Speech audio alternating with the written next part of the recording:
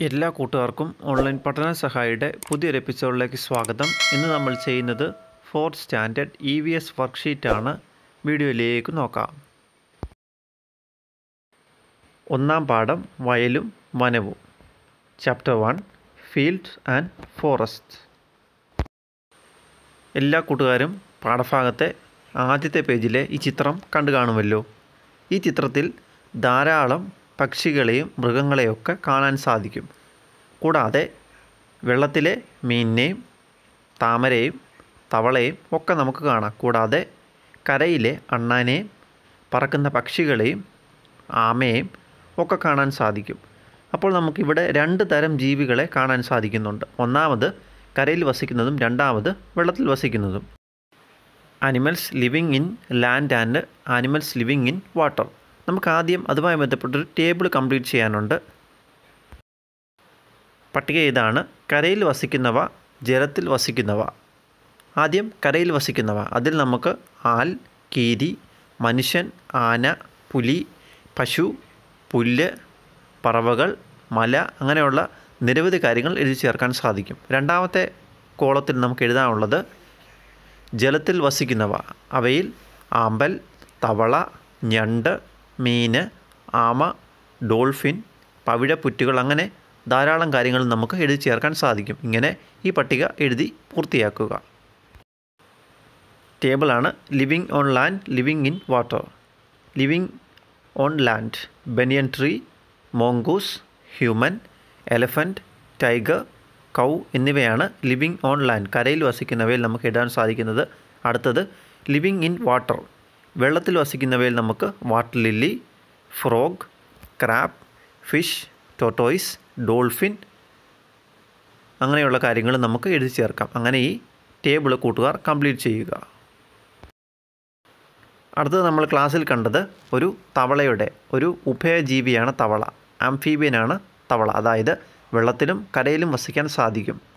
Animals that live in water and ലാൻഡിനെയാണ് amphibian അഥവാ ഉഭയജീവി എന്ന് പറയുന്നത്. ഇവിടെ തവളയുടെ ഒരു ജീവചക്രമാണ് കാണാൻ സാധിക്കുന്നത്.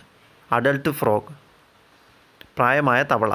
അത് കഴിഞ്ഞ് അത് മുട്ടയിടുന്നു. എഗ്സ് അത് എംബ്രിയോ ആകുന്നു. Tadpoles cleaning to water plant നമ്മൾ കാണുന്ന കുഞ്ഞ് ടാഡ്പോൾസായി അത് മാറുന്നു. വാൽമാക്രികളായി. External gills are for breathing അത് കഴിഞ്ഞ് അതിന് വരുന്ന മാറ്റങ്ങളാണ് ഇവിടെ ഓരോ സ്റ്റേജിലും നൽകിയിരിക്കുന്നത്. അവയുടെ വാൽ വളരുന്നു. Tail keeps on growing middle leg, hind legs appears, lives from food stores in tail, വാലിൽ സംരക്ഷിച്ച ആഹാരത്തിൽ ജീവിക്കുന്നു. ഫ്രണ്ട് ലെഗ്സ് അപ്പിയർ മുന്നിലത്തെ കൈകൾ വരുന്നു. ടെയിൽ ബിക്കം ഷോർട്ടർ അത് കഴിഞ്ഞ് വാൽ ചെറുതാകുന്നു. യങ് ഫ്രോഗ് അത് കഴിഞ്ഞ് ഒരു ചെറിയ തവളയായിട്ടാണ് അത് അഡൾട്ട് ഫ്രോഗ് ആവുന്നത്. വലിയ തവളയായി മാറുന്നത്. ഇത്രയും കാര്യങ്ങളാണ് ഒരു തവളയുടെ ജീവചക്രത്തിൽ വരുന്നത്. Life cycle of a frog അടുത്തത് ഉഭയജീവികൾ ആംഫീബിയൻ. നമ്മളിപ്പോൾ പഠിച്ച തവളയെല്ലാം ഈ ഗണത്തിൽ വരുന്നതാണ്. കരയിലും വെള്ളത്തിലുമായി ജീവിതചക്രം പൂർത്തിയാക്കുന്ന നട്ടലുള്ള ജീവികളെ ഉഭയജീവികൾ എന്ന് പറയുന്നു. Amphibians the vertebrate which complete their life cycle on land and in water are called amphibian. നമുക്ക് ചുറ്റും നമുക്കിതിനെ കാണാൻ സാധിക്കും. ഇവ കരയിലും കാണപ്പെടുന്നു വെള്ളത്തിലും കാണപ്പെടുന്നു. അതുകൊണ്ട് ഇവയെ ഉഭയജീവികൾ അഥവാ ആംഫീബിയൻസ് എന്ന് പറയുന്നു. കൂടാതെ ഇവയ്ക്ക് നട്ടലുകൾ ഉണ്ടെന്നും നമ്മളിവിടെ പഠിക്കുന്നു. ഇവയുടെ ജീവിതചക്രത്തിൽ ഇവ കരയിലും വെള്ളത്തിലുമായി മാറി മാറി വസിക്കുന്നു. അടുത്തത് മത്സ്യത്തിന്റെ അനുകൂലങ്ങൾ എന്തെന്ന് നമുക്കൊന്ന് പരിശോധിക്കാം. രണ്ടറ്റവും കൂർത്ത ശരീരാകൃതി ജലത്തിൽ അനായാസം സഞ്ചരിക്കാൻ സഹായിക്കുന്നു. ഒന്നാമത്തത് രണ്ട് ജലത്തിൽ തുഴയുന്നതിന് അനുയോജ്യമായ ചിറകുകൾ അവയ്ക്കുണ്ട്. ദിശ മാറ്റാൻ സഹായിക്കുന്ന വാൽ ചിറകുകൾ മീനിനുണ്ട്. വെള്ളത്തിൽ തെന്നി നീങ്ങാൻ സഹായിക്കുന്ന വഴുവഴുപ്പുള്ള ശരീരമാണ് മത്സ്യത്തിന്റേത്. ചെകിളപ്പൂക്കൾ അഥവാ ശകുലങ്ങൾ ജലത്തിൽ ശ്വസിക്കാൻ സഹായിക്കുന്നു. നിരയായി ക്രമീകരിച്ചിരിക്കുന്ന ശൽക്കങ്ങൾ അഥവാ ചെതുമ്പലുകൾ ചൂടിൽ നിന്നും തണുപ്പിൽ നിന്നും മത്സ്യങ്ങളെ സംരക്ഷിക്കുന്നു. കണ്ണുകൾ തലയ്ക്ക് ഇരുവശവും ആയതിനാൽ വശങ്ങളിലെ കാഴ്ചകൾ മീനുകൾക്ക് അഥവാ മത്സ്യങ്ങൾക്ക് സാധ്യമാവുന്നു. ഇത്രയുമാണ് മത്സ്യത്തിന്റെ അനുകൂലനങ്ങൾ. Adaptations of fish bodies that are sharp at both ends enable them to travel with ease in water fins help them to swim in water slippery bodies help them glide in water gills help them breathe under water tightly arrange scales protect them from heat and cold eye situated on both sides of the head allows them to get better view of their sides ഇത്രയുമാണ് ഫിഷിന്റെ അഥവാ മത്സ്യത്തിന്റെ adaptations ഈ മത്സ്യത്തിന്റെ ശരീരഭാഗങ്ങൾ നമുക്കൊന്ന് പരിശോധിക്കാം.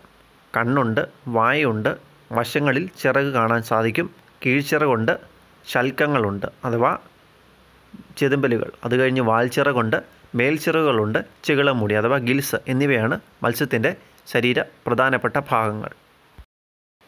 Body parts of a fish jaws eyes gill plates dorsal fin adipose fin caudal fin anal fin pelvic fin pectoral fin lateral line barbels throat എന്നിങ്ങനെയാണ് main body parts of a fish അടുത്തത് അനുകൂലനങ്ങൾ അഥവാ adaptation നമ്മളിപ്പോൾ മീനിന്റെ ഫിഷിന്റെ adaptation അനുകൂലത്തെപ്പറ്റി ചർച്ച ചെയ്തു. അങ്ങനെയാണെങ്കിൽ എന്താണ് ഈ അനുകൂലനം അഥവാ അഡാപ്റ്റേഷൻ ഒരു ജീവിക്ക് അതിന്റെ വാസസ്ഥലത്ത് ജീവിക്കുവാൻ സഹായിക്കുന്ന തരത്തിലുള്ള സവിശേഷതകൾ ഉണ്ടായിരിക്കും.